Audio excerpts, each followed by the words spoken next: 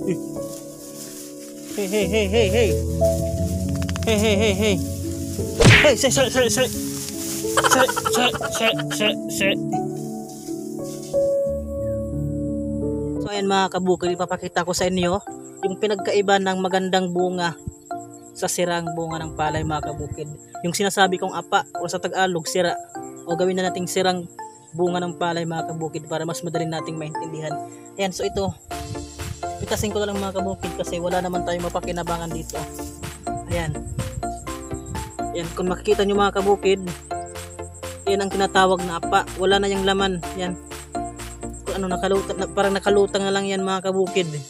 So wala na tayong mapapakinabangan dito kasi sinipsip kasi yan mga kabukid yung bunga niya ng mga insekto na sinasabi kong insekto tulad ng kayangaw, black bugs, ganyan yung mga sumis sumisip-sip sa bunga ng palay mga kabukid nung bata pa to no medyo bata-bata pa to mga kabukid kasi malambot pa kasi yan yung ano yung pinakalaman yung pinaka ano nito yung ano niya parang cover niya yan kasi malambot pa yan kaya, kaya madaling masipsip yan mga kabukid at ito naman mga kabukid ang magandang bunga. Yan, makita nyo naman mga kabukid yan. Nakalaylay talaga.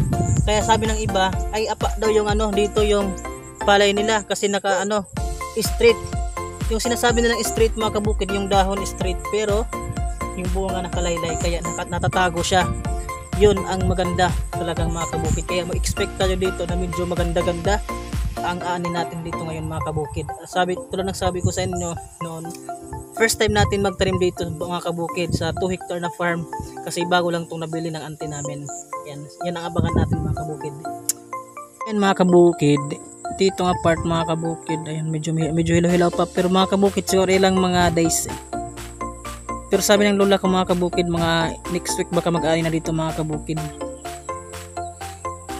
Ayan. So ayun mga kabukid, meron akong ipapakita sa inyong palay. Ito yung ginagamit mga kabukid kapag nagsasahog. Yan. Ito. Ayan, dito tayo. Ayan. Iba yung iba yung tsura niya mga kabukid. Yan. Bukid, iba talaga yung tsura niya. Ito yung tinatawag na pilit. Pilit. Ayan, ginagawa. Malagkit kasi ito mga kabukid. Ginag sinasahog to, sinasahog yan. Masarap, masarap yan dito sa aming lugar. Yung sahog.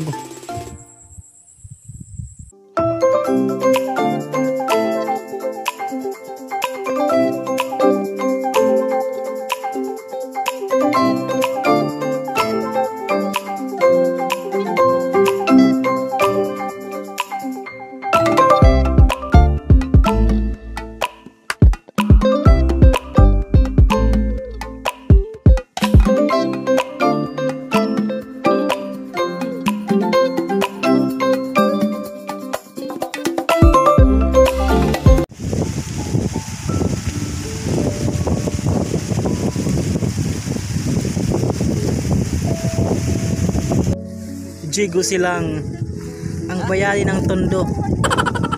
Damo na hindi ka kulok.